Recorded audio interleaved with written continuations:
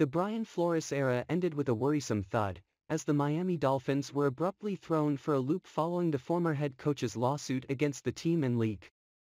But the franchise made swift decisions, and there was quickly a new regime in place that has the team headed in a different and promising direction. Things weren't all bad in 2021.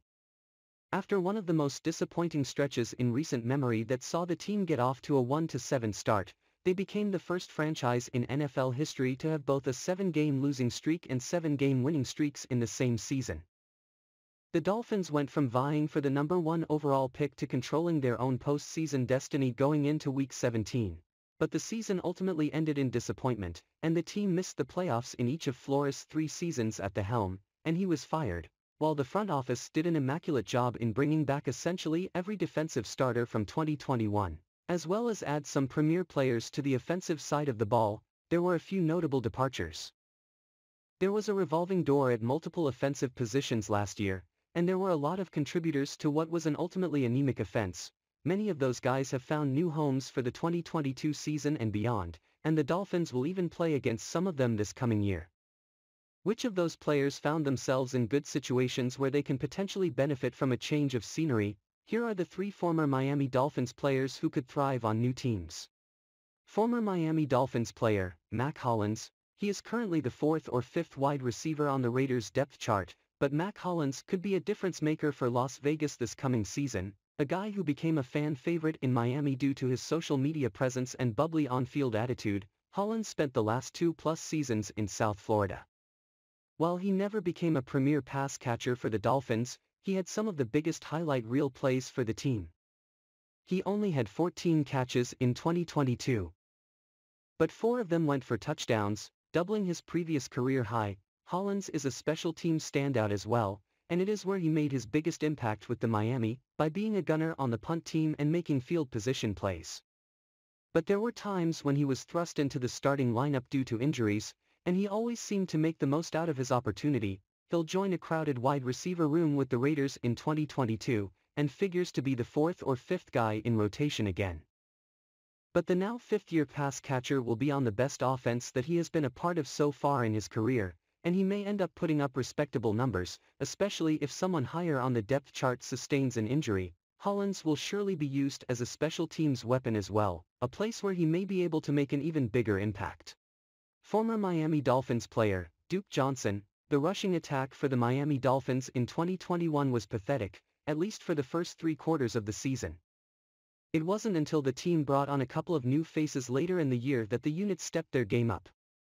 Along with Philip Lindsay, the other running back that was brought on was Duke Johnson, who ended up having two of the best days of any Dolphins running back all season. Johnson made his Dolphins debut in Week 11. But he only received four touches. But in a Week 15 game against the New York Jets, Johnson rushed for 107 yards and two touchdowns, the first time a Miami running back had eclipsed 100 yards all season. Three weeks later in the season finale, he put up 117 yards and another score. Unfortunately for Dolphins fans, the hometown hero's time in Miami was short, and he'll move on to play for the Buffalo Bills in 2022. Johnson may have some trouble getting any legitimate amount of touches however. Given his position on the depth chart, the Bills currently have six running backs on their roster, a number which will certainly be trimmed down by the end of training camp. Johnson should survive final cuts and make the active roster, but he might be the third or fourth back listed. And unless there is an injury to Devin Singletary or James Cook, his opportunities could be limited, but Johnson proved last season that there is still some juice in the tank, and he parlayed that into securing a contract in Buffalo. The Bills must still think he is capable of being a big-time back, and it wouldn't surprise many people in Miami to see him put up big numbers like he did at the end of 2021. Former Miami Dolphins player, Jacoby Brissett, he didn't do a whole lot for the Dolphins, and it would probably be beneficial to both parties if we just pretend the union never happened. Jacoby Brissett was signed during the 2021 offseason with the specific designation of being the backup to Tua Tagovailoa, but he was thrust into the starting lineup in just the second game of the season following an injury to the starter. His performance was below average, at very best, while his five-game numbers are respectable, 1. 100 yards, 5 touchdowns, 4 interceptions, 2-3 record, but Brissett completely failed the eye test. His motions were best described as lumbering, and the offense seemed to be at its most stagnant when he was the signal caller. He only lasted one season in Miami, and has now moved on to the green earth pastures. Brissett will once again be listed as the number two quarterback on the depth chart, but this time it will be behind Deshaun Watson for the Cleveland Browns.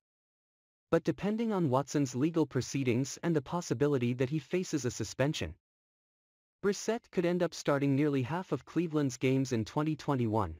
The Dolphins will play against the Browns in Miami on November 13th.